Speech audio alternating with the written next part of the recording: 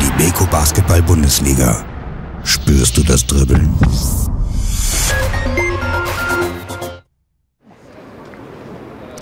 Hallo und herzlich willkommen. Die Beko Basketball Bundesliga meldet sich heute hier aus Hagen. Und zwar genau gesagt vom Sinister hier in Hagen, denn heute feiert der Film Phoenix in der Asche Premiere. Das ist die filmische Aufarbeitung der Saison 2009-2010 von Phoenix Hagen.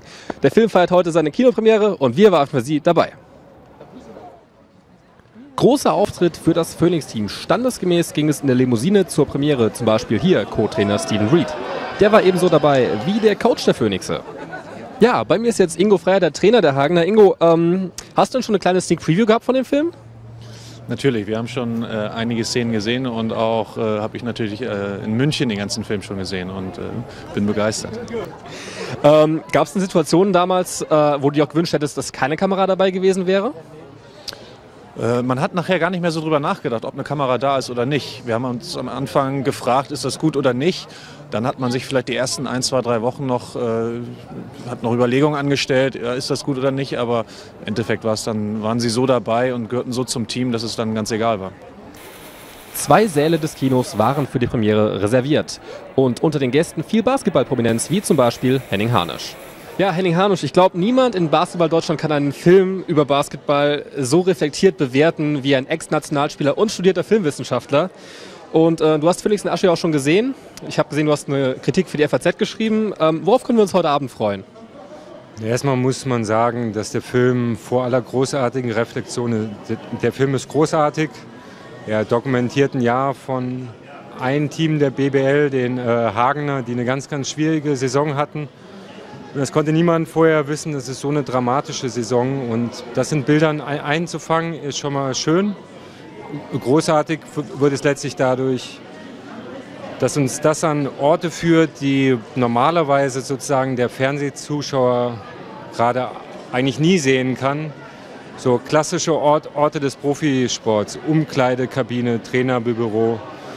Und er, der Film zeigt uns das und er zeigt auch wie die Leute leben, arbeiten und, und da kriegt, kriegt, kriegt man sehr viel mit.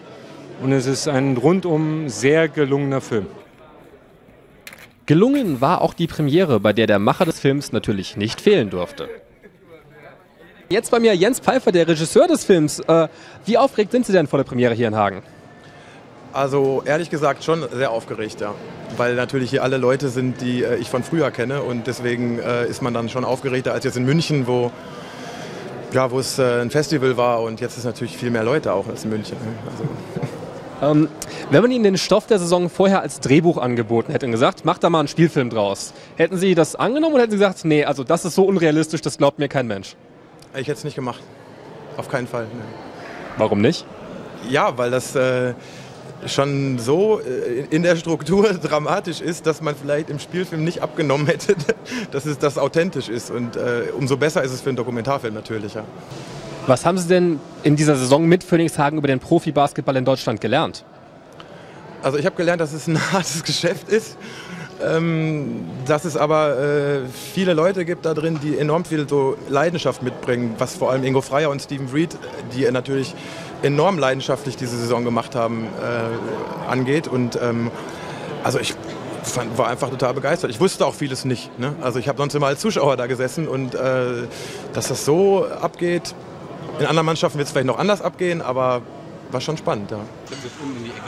Um 19.30 Uhr ging es dann endlich los. Nach einigen Worten von Jens Pfeiffer hieß es Film ab.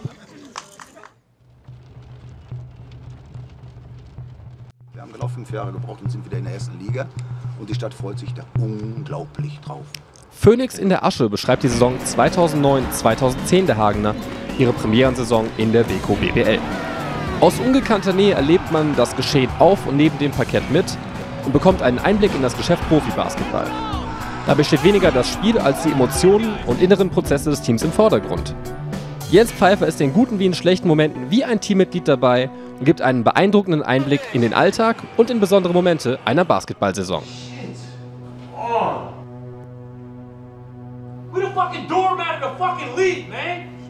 Motherfuckers look at us like a practice game.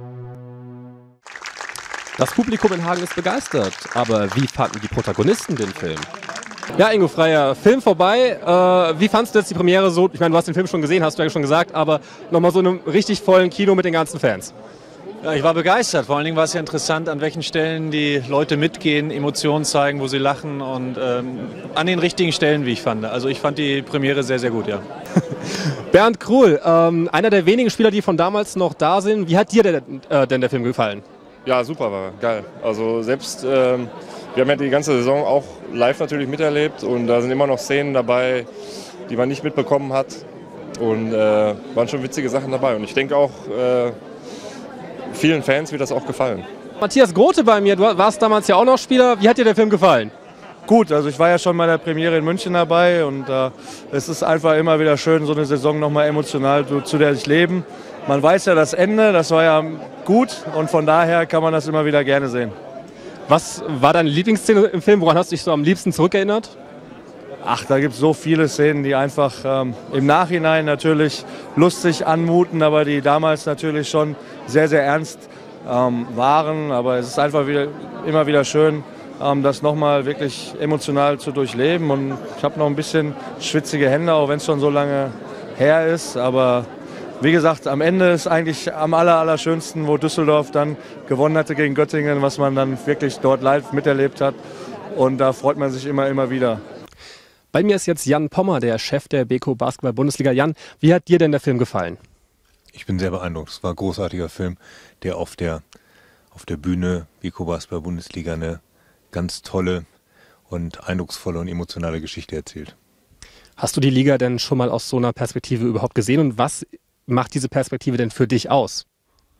Also nein, das ist wirklich was ganz Ungesehenes. Das ist ja eigentlich schon fast ein, ein Kammerspiel, wenn man wenn man möchte, fast ein Essay über die Welt, äh, auch abseits des Chords vor allen Dingen. Und das habe ich so noch nicht gesehen, nicht nur deshalb, weil ich ja ein Stück weit auch außen stehe und außen stehen muss, sondern weil das, glaube ich, auch so noch nie erzählt worden ist. Also das ist, glaube ich, etwas, was nicht nur einen Basketballfan begeistern kann, sondern jeden, der sich für Sport interessiert, weil man die ganze Dramatik, äh, die Emotionen, die auch diesen Druck, der da herrscht, äh, sehr gut da wahrnimmt mit Phoenix in der Asche und äh, dann auch mit dem äh, Buch von äh, Thomas Pletzinger, das im Januar erscheint, Gentlemen, wir leben im Abgrund.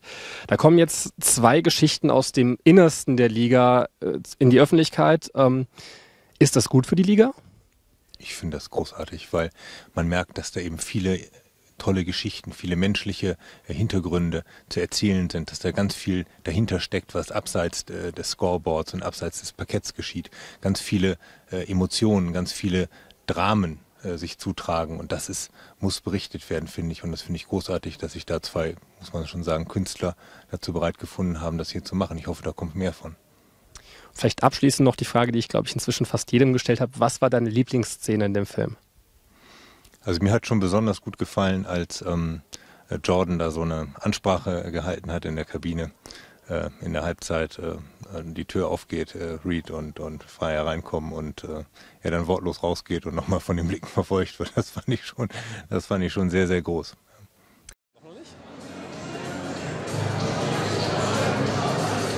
Ja, ein mehr als gelungener Premierenabend. Der klingt jetzt hier noch außen in der Kneipe, die den mehr als passenden Namen Feuervogel trägt. Wir verabschieden uns von Ihnen und sagen Tschüss, bis zum nächsten Mal bei der Beko Basketball Bundesliga. Die Beko Basketball Bundesliga. Spürst du das Dribbeln?